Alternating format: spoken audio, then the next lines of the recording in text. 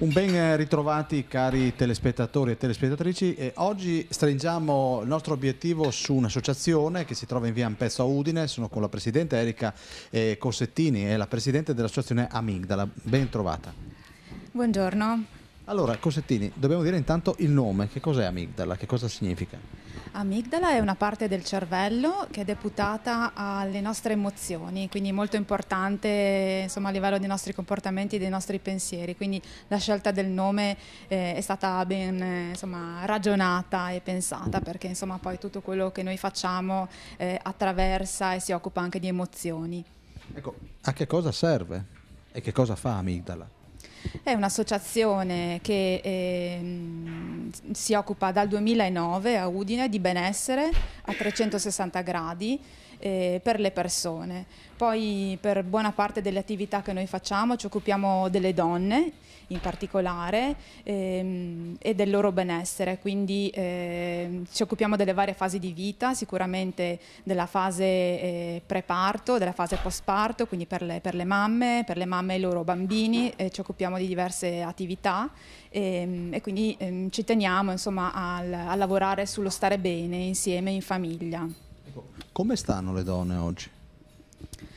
Le donne hanno voglia di, di, uscire di casa e di star bene con i propri figli. Eh, sicuramente eh, ci sono dei problemi legati anche alle opportunità o meno lavorative, quindi eh, molte donne ci dicono insomma, che dopo aver avuto un figlio c'è qualche problema a conciliare lavoro e famiglia. Diverse donne rimangono a casa eh, dopo la maternità proprio perché questo è molto difficile. C'è voglia di condividere tra di loro, quindi anche, anche le occasioni che noi proponiamo di stare insieme ad altre mamme è proprio l'occasione di condividere quello che succede anche tra le quattro mura di casa, quindi possono essere gioie ma anche le difficoltà di avere un bambino, quindi è molto importante ecco, rendersi conto che non si è sole. La donna oggi è un po' più autonoma rispetto a qualche anno fa? Sì, è più autonoma e ha voglia anche di essere autonoma, quindi anche il, i percorsi per riscoprire la propria forza sono molto importanti, quindi oltre ad esempio le attività che noi facciamo con le mamme, le facciamo anche con insomma, eh, donne anche più adulte, eh, proprio di mh, percorsi eh, proprio di riscoperta della propria forza interiore. La forza non è solo quella dei muscoli, ma anche la forza della determinazione, dell'affermazione di sé in famiglia o anche al lavoro, quindi sono percorsi molto importanti importanti anche di riscoperta di se stessi. Mm, Cossettini, ma sono ancora, ci sono ancora donne sottomesse? Eh, beh, forse è sottomessa a un'etichetta gen- generalista, però ci sono donne che possono essere in difficoltà, mh, mm, vuoi per eh, anche retaggi culturali, vuoi insomma, per eh, difficoltà che una si porta dietro dall'infanzia, eh, quindi ci sono ancora donne in difficoltà, diciamo che è una fetta mh, mm, della popolazione che è un po' più sommersa, quindi magari è una cosa che eh, emerge dopo, non, eh, uno non, non, racconta subito di sé insomma, di essere in difficoltà, quindi è una cosa che può emergere più in un contesto individuale. Ecco. Chi passa da voi? Oh, passano sicuramente donne di diverse età, sicuramente la fetta insomma, è quella tra i 25 e i 45 anni, proprio perché ci occupiamo molto di donne nella fascia materno-infantile. Ehm, e, insomma, a livello culturale è vario, insomma, ci sono quindi diverse, diverse tipi di, di, di cultura, di, di base, e, ehm, insomma tutte donne che comunque vogliono stare bene e vogliono stare bene insieme ad altre donne. Una donna autonoma è sempre forte, sempre più forte? Ma non è detto, non, è, non, colleghiamo l'autonomia con la forza, perché a volte, certo, sono percorsi che si incrociano, ma a volte sono anche indipendenti. Sicuramente eh, la forza non è eh, raggiungere o ottenere l'autonomia, eh, la forza è anche riuscire a stare bene nel gruppo, eh, anche fare le cose in cooperazione e collaborazione. Eh, la forza è comunque utilizzare la determinazione per stare bene con gli altri, quindi a volte mh, sono cose che vanno anche separatamente. Senta Cossettini, noi abbiamo visto l'8 l'8 marzo mh, pioggia, una pioggia di mimose, ci sono una cifra di donne che vengono anche dalle nostre parti maltrattate. Mh, come mai? Beh, eh, purtroppo mm, c'è ancora molta strada da fare. E, ehm, insomma, pur, per fortuna insomma, in questi ultimi anni se ne parla di più e quindi eh, insomma, è, è, più possibile eh, diciamo, far emergere queste problematiche, anche perché magari i maltrattamenti non sono solo quelli evidenti delle, delle percosse, eh, del pronto soccorso per intenderci, ci sono maltrattamenti psicologici che iniziano in modo più subdolo, quindi è più difficile eh, anche rendersi conto per chi è vittima di riconoscere una situazione del genere.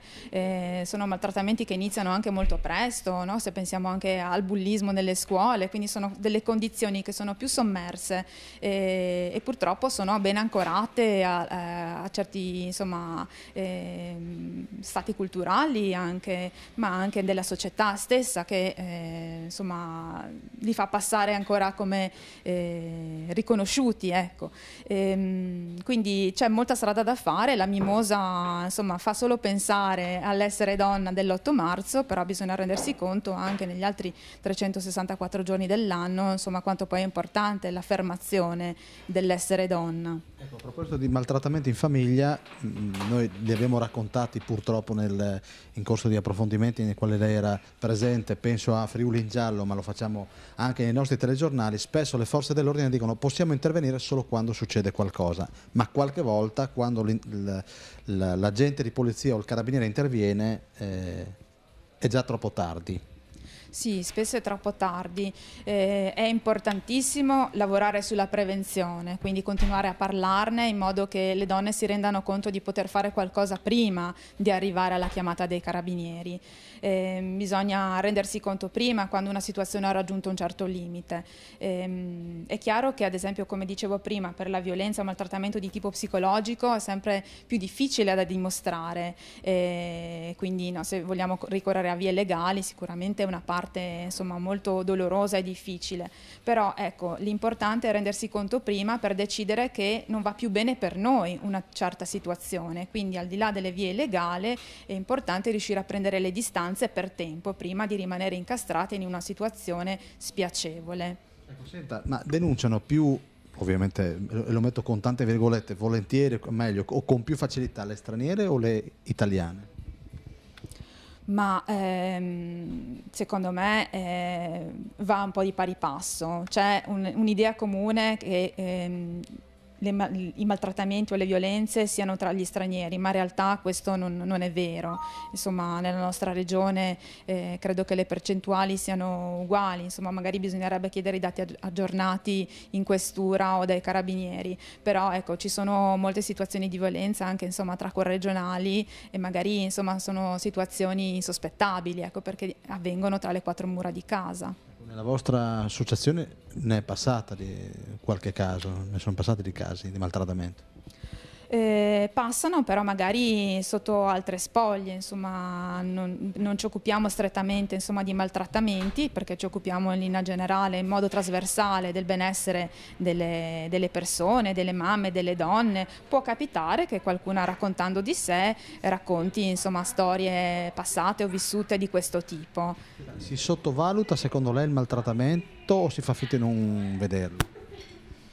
A volte è sottovalutato, a volte si pensa che, che non succeda più, a volte insomma, che sia una cosa passeggera, che sia un, insomma, un problema momentaneo e questo è il rischio, quello di far passare del tempo e non rendersi conto che invece è una cosa insomma, che va via via ad aggravarsi. La difficoltà poi di una eventuale vittima è quella proprio di rimanere un po' incastrata in quello che si va a chiamare la spirale della violenza, perché dopo un maltrattamento, dopo una situazione difficile c'è sempre un momento di riappacificazione semplificazione per poi ad arrivare ad una situazione più grave della precedente.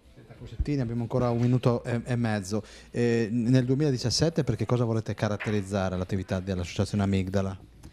Ma eh, sicuramente rispetto ai progetti che noi abbiamo in porto è quello di dedicarci ancora di più alle neomamme, eh, perché ci siamo accorti che comunque è una parte molto importante del, dell'attività eh, che ci viene richiesta, perché eh, le neomamme sono sole e al di là di prevenire delle possibili depressioni postpartum è importante comunque uscire di casa, condividere le proprie esperienze con altre mamme e poterlo fare con i loro bambini, quindi vengono in associazione, in sede eh, con i bambini e possono fare delle cose, attività pratiche, teoriche, insomma, o condividere solo il loro tempo per chiacchierare e, e, e già sentire eh, di poter stare bene così. Ecco, ancora una domanda, vediamo mh, certi casi di persone in stato interessante volti piuttosto tristi. Dall'altra parte le ginecologhe dicono ma una che è in, incinta non è malata.